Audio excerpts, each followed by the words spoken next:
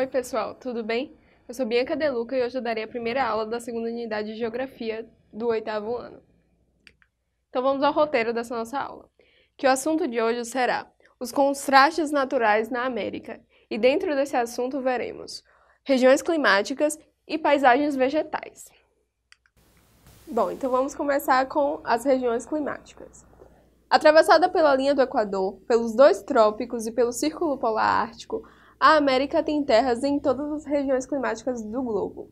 Ou seja, o continente americano é bastante diversificado, inclusive em, na questão de climas. Pelo, pelo fato de, ser, de seu território ser totalmente muito extenso, é, pega muitos climas, como por exemplo, aqui na América do Sul temos a parte em verde escuro. É, o clima equatorial, que pega o, o norte do Brasil, a Venezuela, é a parte onde a, a Amazônia está.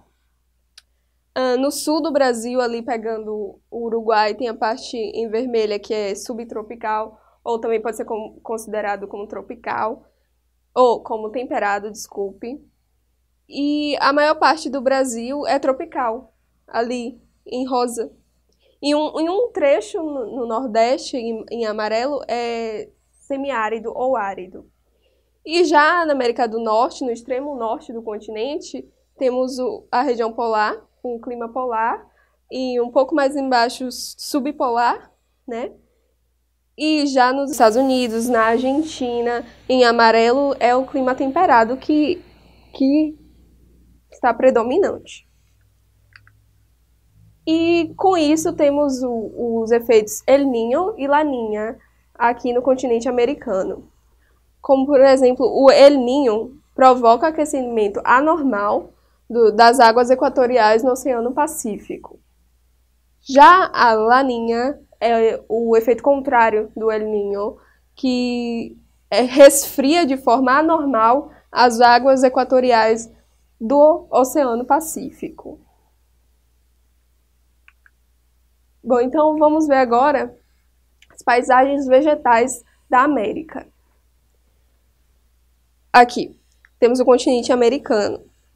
E ah, vamos começar aqui com a parte da América do Sul, que é a maior parte, a maior parte do território sul-americano é, tem florestas, aqui em verde escuro que vemos, floresta equatorial ou tropical, como aqui no Brasil, na região litorânea brasileira, que é a Mata Atlântica.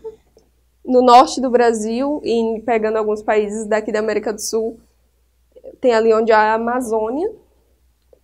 Já no sul do Brasil e na parte central dos, dos Estados Unidos existem os estepes e as pradarias, que podemos ver aqui, que é uma, uma mata mais curta. E também tem a savana ou cerrado, que pega muita parte do Brasil aqui, e aqui no extremo norte do continente na parte sul do, da América. Pega a Venezuela ali também. E aqui temos um, umas fotos de alta montanha, a vegetação de alta montanha é aqui nos Andes, no, na costa oeste da América do Sul. Temos, uh, como por exemplo, aqui temos floresta subtropical, que é muito predominante aqui no sul do Brasil, lá na região do Paraná, onde tem pinheiros, e, flore e árvores, como ali na imagem, que é floresta subtropical ou temperada. Então vamos à nossa atividade da, dessa nossa aula de hoje, que, que tem duas questões. A primeira é: quais são os climas que cortam o Brasil? A segunda questão é: quais são os tipos de paisagens vegetais existentes no território brasileiro? Eu vou dar um tempo para você responder essa questão e daqui a pouco eu volto com a resposta.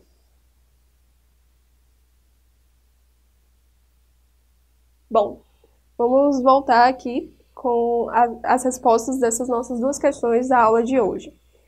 Eu vou repetir as questões. Bom, a primeira questão é: Quais são os climas que cortam o Brasil? Resposta: Tropical, subtropical, semiárido e equatorial. A segunda pergunta foi: Quais são os tipos de paisagens vegetais existentes no território brasileiro? A resposta da segunda questão é floresta tropical e, equator e equatorial, floresta subtropical ou temperada, cerrado e pradarias. Bom, essa foi a nossa aula de hoje. Espero que você tenha gostado e aprendido bastante. E até a próxima!